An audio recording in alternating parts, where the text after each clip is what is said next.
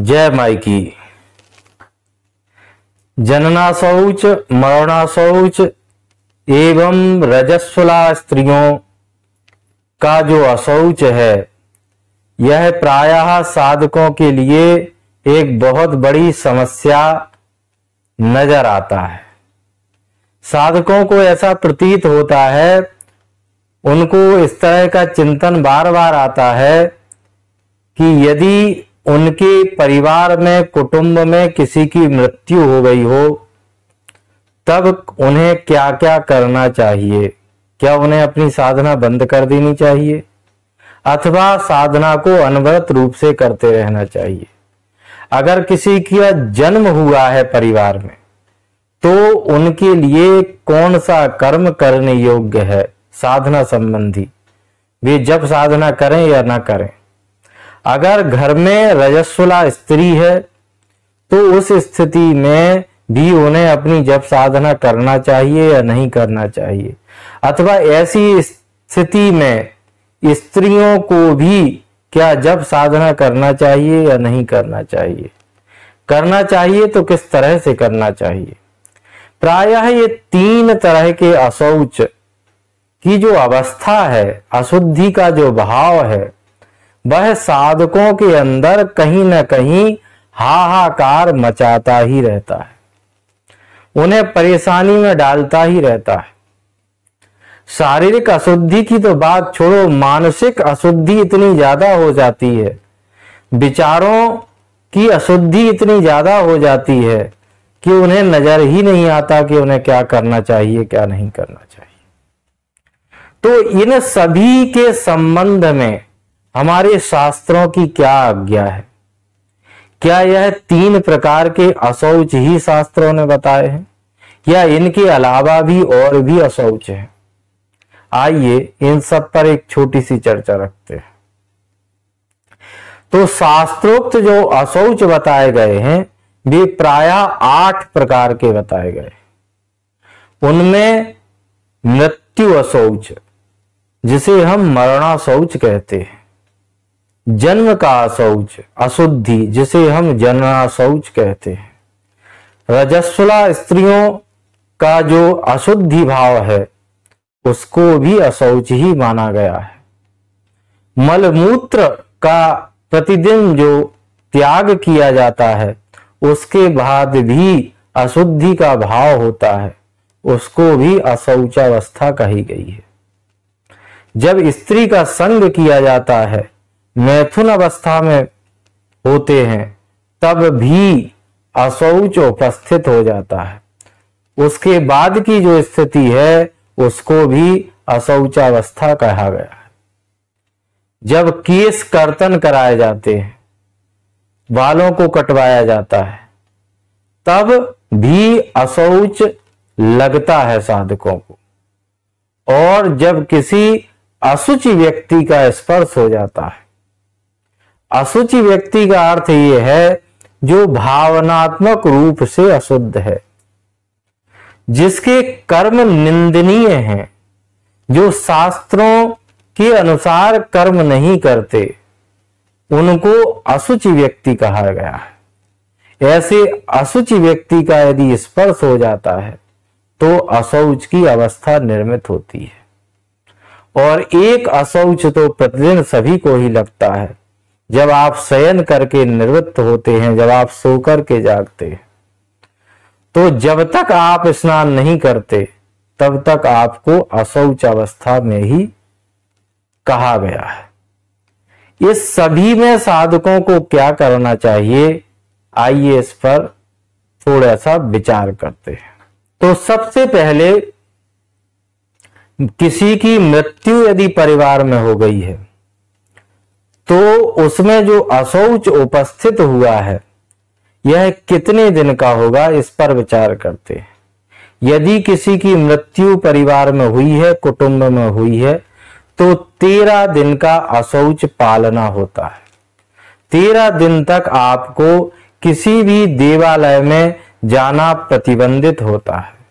आपको किसी देवता का स्पर्श नहीं करना होता है। अब यह किस किस को नहीं करना होता है? तो परिवार में जितने भी लोग हैं, उन सभी पर यह अशुद्धि का भाव कि जो नियम है, वह लागू होता है। परिवार का अर्थ है कि आपके तीन पीढ़ी के व्यक्ति।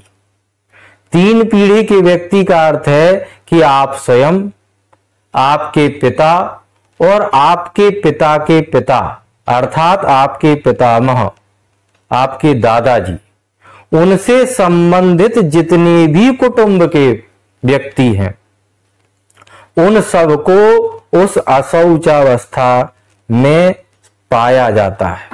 वे सभी उस अशौचावस्था से निकलते हैं। इसलिए उन्हें तेरह दिन तक अशौच पालना होता है और यह नियम सभी को मानना ही चाहिए। इसके अलावा जो संबंधी हैं, उन संबंधियों को भी एक दिन का अशौच लगता है। अगर आपका कोई संबंधी समाप्त हो गया है, उसने अपनी देह का त्याग कर दिया है, और आप उसके अंत्येष्टि कर्म में गए हैं तो अंत्येष्टि कर्म से आने के बाद, स्नान इत्यादि करने के उपरांत भी यदि आपने दिन में अंत्येष्टि कर्म में आप गए हैं तो रात्रि में जब तक तारा गण उदित ना हो जाएँ, तब तक आपको असौच पालना होगा। और यदि आप रात्रि में किसी के यहाँ गए हैं तो जब तक सूर्योदय नहीं हो जाता तब तक आपको असौच पालना चाहिए। तो यह एक दिन का असौच संबंधियों को लगता है।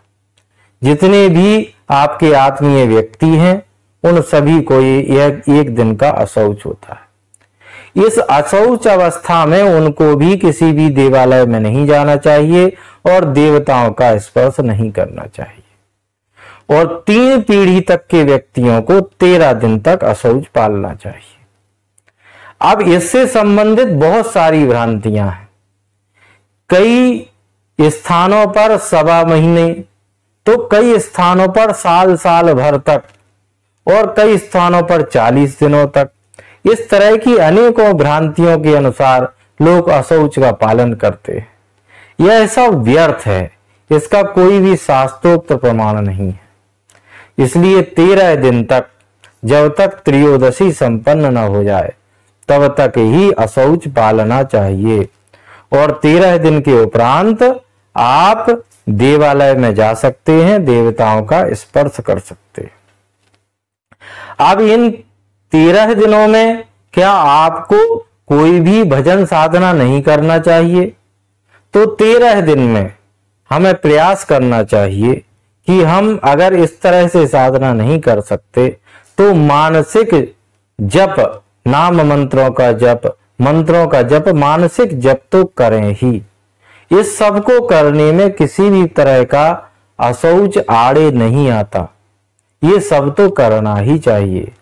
परमात्मा को, माई को याद करना, यह किसी भी असौच अवस्था में किया जा सकता है। सभी प्रकार की जो अशुद्धियाँ हैं, उन सभी प्रकार की अशुद्धियों से यदि निवृत्त होना है तो भगवती का चिंतन करना चाहिए। अगर आप उनका चिंतन करते हैं तो आप वैसे भी असौच से निवृत्त हो जाते हैं। इसीलिए मानसिक जप और चिंतन करने में किसी भी तरह का कोई भी परहेज नहीं करना चाहिए। अब इसके बाद यह भी विचार कर लेना चाहिए कि यदि आपके यहाँ कोई असौच हुआ है, किसी की मृत्यु हुई है, और आप किसी विशेष प्रयोजन से कोई देव पूजा कर रहे हैं, कोई अनुष्ठान कर रहे हैं और घर से बाहर हैं, किसी मंदिर में हैं, किसी तीर्थ स्थान पर हैं, अपने इष्ट देवी के मंदिर में हैं तो क्या आपको वह अनुष्ठान बीच में छोड़ देना चाहिए? नहीं, इस तरह का कार्य नहीं करना चाहिए। आपको उस अनुष्ठान को विधिवत पूरा करना होता है, क्योंकि अगर आप यदि घर से बाहर हैं और घर में नहीं आ रहे हैं और आप किसी एक विशेष देव पूजा में, किसी अनुष्ठान में संलग्न हैं तो फिर आपको वह अशौच व्याप्त नहीं होगा। फिर आपको उस अनुष्ठान को पहले पूरा करना चाहिए, उसके बाद अपने घर आना चाहिए। किंतु इस बीच घर के किसी भी व्यक्ति से आप न मिलें, घर की किसी भी वस्तु का इस्तेमाल न करें, भोजन इत्यादि तो बिल्कुल भी न छुएँ। इस तरह से यदि आप करते हैं तो आपका अनुष्ठान विधिवत संपन्न हो सकता है। आगे जो जनना शौच है, किसी के घर में किसी का जन्म हुआ है, ऐसी स्थिति में उसको क्या करना चाहिए? ऐसी स्थिति में साधक को क्या करना चाहिए?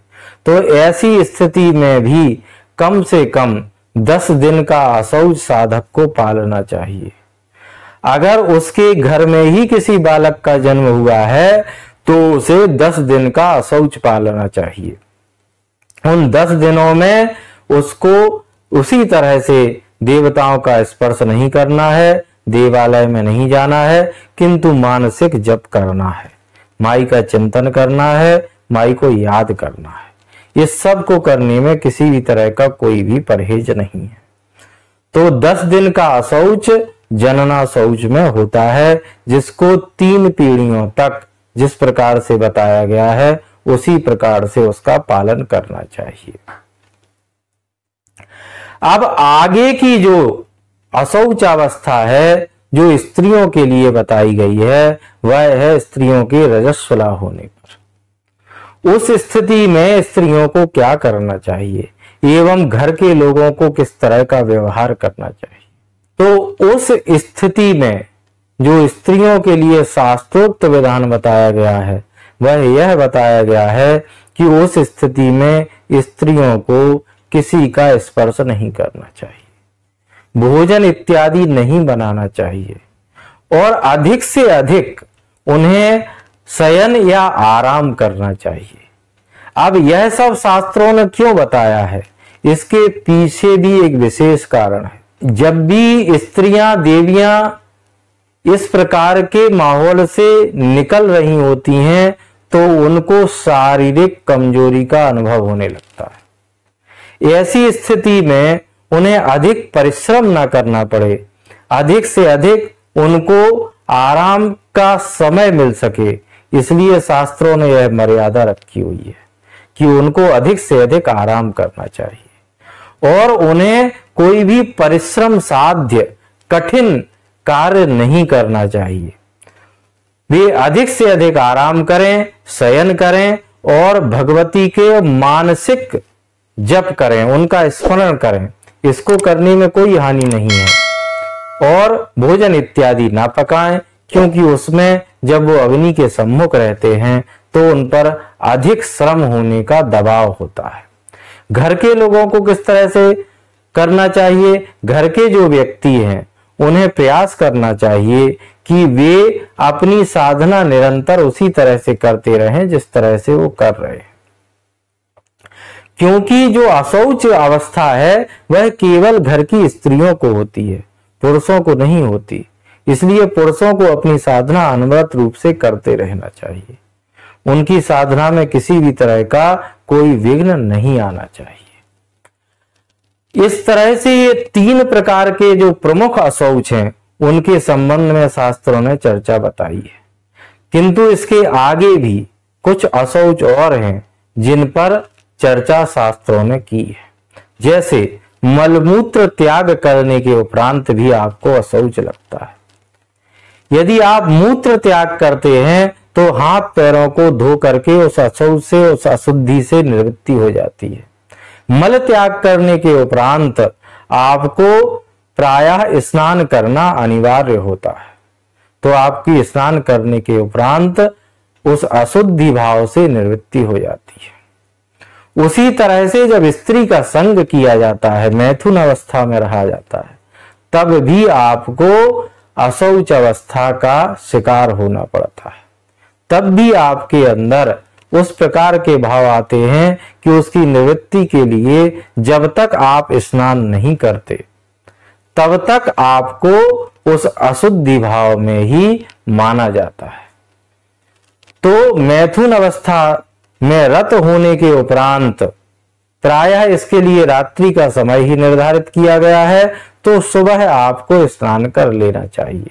और स्नान करने के उपरांत आप अशुद्धि के भाव से मुक्त हो जाते हैं। इसी तरह से जब केस कर्तन कराए जाते हैं, बालों को कटवाया जाता है, तब भी आपको अशौच लगता है और वह भी तभी निर्वृत्त होता है जब आप अपने केस कर्तन कराए हुए जो वस्त्र हैं, उन सभी वस्त्रों को धोने के लिए डाल देते हैं उनको जल में भिगो देते हैं और फिर आप स्नान कर लेते हैं।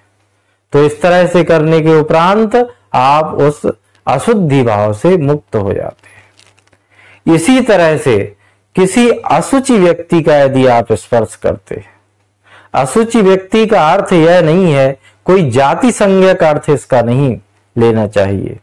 असुचि व्यक्ति के स्पर्श से केवल इतना ही अर्थ है कि किसी किसी व्यक्ति के भाव ही इतने अपवित्र होते, उसके कर्म ही इतने अपवित्र होते हैं जो मानव जाति के लिए शुभ नहीं माने जाते, जो किसी के लिए शुभ है ही नहीं, न विचारों से, न शरीर से, और ना ही किसी अपने कृत्य से। ऐसे व्यक्ति को असुचि व्यक्ति कहा गया है। अगर आप उसके संपर्क में आते हैं तो आपको अशुद्धि का भाव व्याप्त हो जाता है। और उस तरह के व्यक्ति के संपर्क में आने के बाद आपको स्नान करना अनिवार्य हो जाता है। और एक प्रकार की अशुद्धि और है जो सभी को होती है। वह होती है जब आप शयन करते हैं, सो जाते हैं। तो उसके सोने के उपरांत जब आप उठते हैं तो आपको स्नान करना अनिवार्य होता है। क्योंकि आपकी जो इंद्रियाँ हैं, उनसे अनेकों प्रकार के मल जो दृश्य हैं और अदृश्य हैं, वो प्रायः निकलते रहते हैं। और उन सभी की निवृत्ति तभी होती है जब आप विधि पूर्वक स्नान कर लेते हैं। तो स्नान प्रायः सभी में आवश्यक है। अब यहाँ इस चीज़ का ध्यान रखना चाहिए कि यदि कोई व्यक्ति रुग्ण है या इस स्थिति में नहीं है कि वो स्नान कर सके या यदि वो स्नान करता है तो उसके साथ उसको कई और समस्याओं का सामना करना पड़ सकता है। या बहुत अधिक शीतलता है, जहाँ स्नान करना संभव ही नहीं है। तो क्या ऐसी स्थिति में उसके लिए शास्त्रों ने कुछ और विधान बताए हैं? तो शास्त्रों ने अनेकों प्रकार के स्नानों का विधान बताया गया। और उसके लिए एक विशेष वीडियो चर्चा हमने पहले ही आपके लिए समर्पित की हुई है, जो आपको हमारे चैनल पर उपलब्ध हो जाएगी और उसका लिंक आपको डिस्क्रिप्शन में प्राप्त हो जाएगा।